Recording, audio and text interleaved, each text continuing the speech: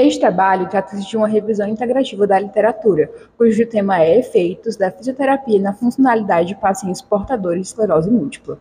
Autores: Samira, Jean Lucas, Nicole, João Vitor, Andressa e como orientadora a doutora Raquel Magalhães, ambos do Centro Universitário Cristos. A esclerose múltipla é uma doença neurodegenerativa autoimune que acomete cerca de 20,5 milhões de pessoas no mundo. Em média, no Brasil, pacientes com esclerose múltipla gastam 100 mil reais por ano para o tratamento da doença, sendo considerado um problema de saúde pública no país.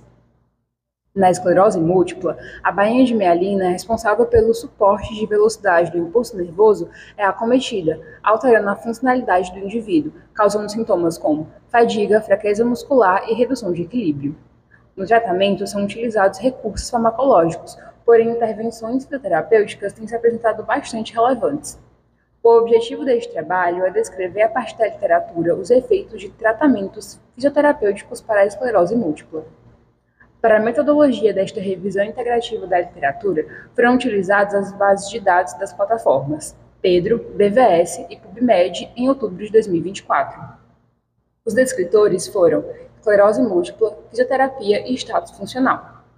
Foram desclassificados artigos indisponíveis na íntegra, indexações duplicadas, estudos com pacientes pediátricos, revisões de literatura, teses, dissertações, relatos de caso e artigos em que não houve participação da fisioterapia.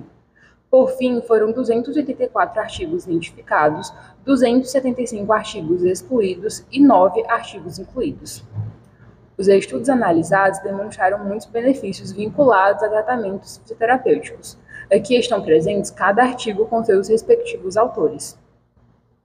O estudo utilizando o método do exoesqueleto foi realizado com um grupo de 11 pessoas. Cada participante realizou quatro sessões supervisionadas de exercícios de equilíbrio. Como resultado, tiveram melhora do equilíbrio, mobilidade articular, espasticidade e qualidade de vida.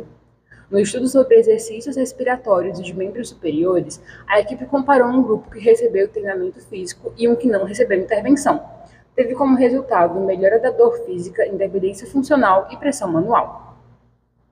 O estudo sobre reflexoterapia com alongamento muscular teve como objetivo comparar com um grupo controle, cuja intervenção se tratou de massagem terapêutica. Teve como resultado redução da espasticidade e da dor muscular.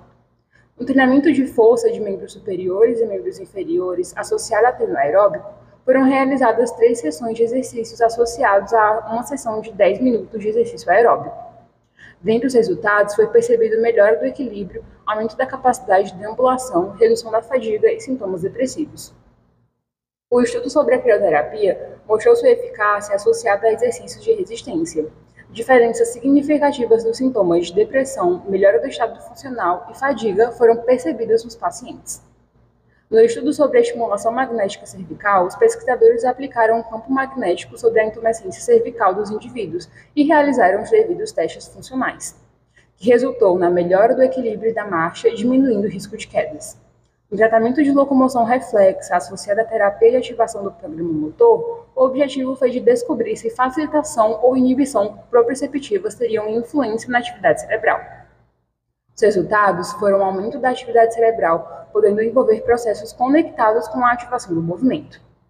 O objetivo do estudo sobre TEG-ECU foi verificar suas influências nos aspectos físicos e funcionais dos indivíduos com esclerose múltipla. No estudo, teve como resultado uma melhora de 12 variáveis em comparação a 3 do grupo, do grupo controle. Para finalizar, o artigo sobre yoga teve como objetivo analisar os efeitos da yoga em pacientes com esclerose múltipla em comparação à fisioterapia. Não houve diferença significativa entre os grupos em termos de melhora dos sintomas da esclerose múltipla. Contudo, houve uma melhora nas atividades de vida e saúde mental e social em favor do grupo de yoga. Diante desses resultados, evidencia-se a perspectiva promissora dos efeitos da fisioterapia na funcionalidade de pacientes portadores de esclerose múltipla. Tais terapias e protocolos de exercícios usados pelos fisioterapeutas, como o tratamento de força e a reflexoterapia, melhoram a função física, cognitiva e funcional dessas pessoas. Portanto, o incentivo a novos estudos para o desenvolvimento de intervenções fisioterapêuticas deve ser reforçado, a fim de minimizar a progressão dessa patologia. Estas são as principais referências utilizadas neste trabalho. Obrigada pela atenção.